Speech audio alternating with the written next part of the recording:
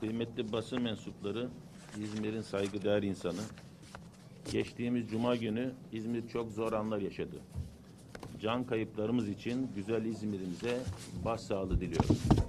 Halen tedavi altında olan hastalarımıza, yaralılarımıza, yakınlarına ve olayın dehşetini yaşayıp ruhen örselenmiş bütün İzmirlilere tekrar geçmiş olsun dileklerimi sunuyorum. Yaşlılarımız ve çocuklarımız böylesi felaket anlarını daha zor atlatıyorlar. Gözle görülenden daha fazlasını hissedip etkileniyorlar. Toplum yaralarını sarıp hayata dönmekte güçlük yaşıyor. Depremin etkileri ruhlarda ve duygularda devam ediyor. Bizler bunları da sağlık sorunları arasında görüyoruz. Bu nedenle depremin ilk anlarından itibaren verdiğimiz hizmetlerin işimizin bir aşamasını oluşturduğunu, yaşadığınız şoku atlatmak için de yine hizmetinizde olacağımızı bilmenizi istiyorum. Sağlık Bakanlığı ekipleri depremden kısa bir süre sonra görevlerinin başındaydılar. 170 ambulans, 2 helikopter ambulans, 234 araç ile 112 acil ve UMKE timlerinde görevli 835 personelimiz çalışmalarına halen devam ediyor. Geçen süre zarfında 5000'in üzerinde depremzedeye sağlık hizmeti sunuldu. Hastanelerimizde tedavi altına alınan kişi sayısı 896'dır. Bu sabah itibariyle tedavisi tamamlanıp taburcu edilen hasta sayımız 682'dir. 58 kişi servis ve yoğun bakımda yatırılmak üzere gözlem ve müşahede altında olan kişiler dahil toplam 214 vatandaşımızın da tedavisi devam ediyor.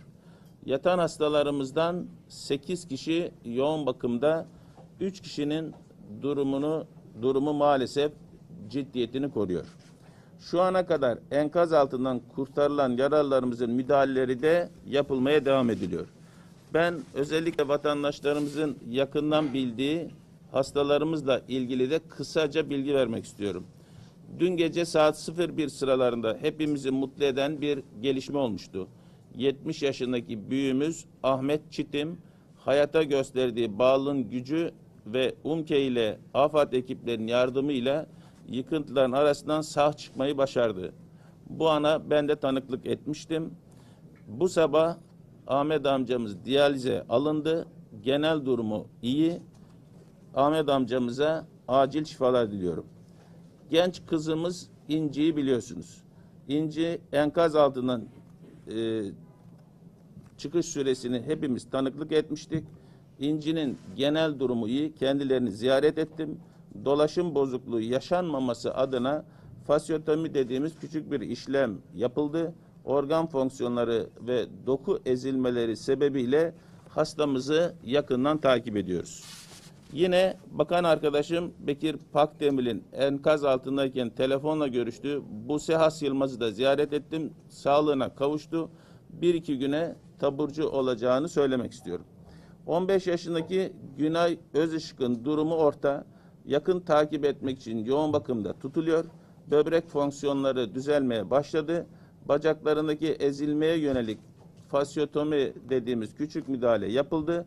Gece hem annesi ve kendisiyle ayrıca görüştüm. Durumuyla ilgili yakından takip ediyoruz. Doğanlar Apartmanı'nda 3 çocuğuyla birlikte enkaz altından çıkarılan Seher Perinçek'in tedavisi serviste, dahiliye servisinde devam ediyor. Dün yine kendisiyle görüştüm. Durumu iyiye gidiyor. 10 yaşındaki ikiz kızları Ezel ve Elzem yoğun bakımda onlarla da e, yakından görüştüm. E, genel durumları iyi. Ne yazık ki 7 yaşındaki kardeşleri Umut enkazdan çıkarıldığında hayatını kaybetmişti. 3 yaşındaki kardeşlerine ise maalesef halen ulaşamadık. Şu ana kadar can kaybımız 51'e çıktı. Ee, bu arada Buca Seyfi Demirsoy Hastanemiz e, şu an e, hasta kabulü acil dışında servise yapılmıyor. E, bugün ziyaret ediyor olacağım. Çok erken dönemde yerinde çözüm getirmek istiyoruz. İzmir'in müteessir ve saygıdeğer halkı. Doğal afetler bize alışma fırsatı vermeden bir anda gelirler. Can kayıplarının acısı diğer can kayıplarıyla mukayese edilemez. Enkaz altına geçen zaman hayata mı, ölüme mi yakın bilinemez. Bunlar zor günler. Bu şoku birlikte atlatacağız. Hatırlatmaktan kaçınamayacağım bir husus var. Hepimiz can derdindeydik. Can kurtarma derdindeydik. Koronavirüs tedbirlerini ihmal etmiş olabiliriz. Gerekli dikkati tekrar gösterelim. Depremin de tesiriyle İzmir'de şartlar virüs için elveriş- elverişli hale geldi. Kurallara uyarak yani yeni can kayıplarının önüne geçelim. Hepinize selam ve saygılarımı sunuyorum. Üzüntünüzü paylaştığımı ifade ediyorum. Bu arada kıymetli ağabeyim Burhan hocamızı bu sabah 04 saatlerinde kaybettik. Durumunu yakından özellikle ben takip ediyordum.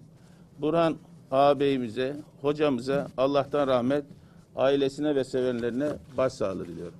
Teşekkür ediyorum.